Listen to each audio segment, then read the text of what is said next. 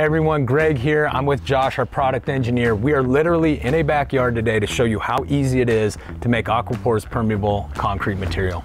It's just mined material. We don't need cement plants. We're not blowing 8% of CO2 off into the atmosphere. Very simple, very eco-friendly process. Literally our four ingredients, some concrete forms, one hour to set up, get it out of the, the forms, and then you have a permeable concrete material. So right now we're adding the rest of our cement components.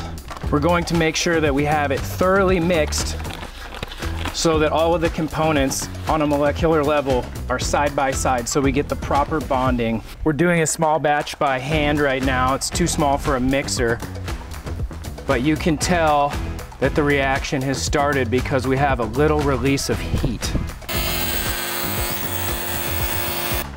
Okay, so it's been 20 minutes. We mixed, poured the material into a form, and now we are taking it out of the form. And there is AquiPor material. If you wanna learn more, go to startengine.com backslash AquiPor. Join us on the mission. We are open to new investors. We feel like this material and this technology is gonna change stormwater infrastructure forever.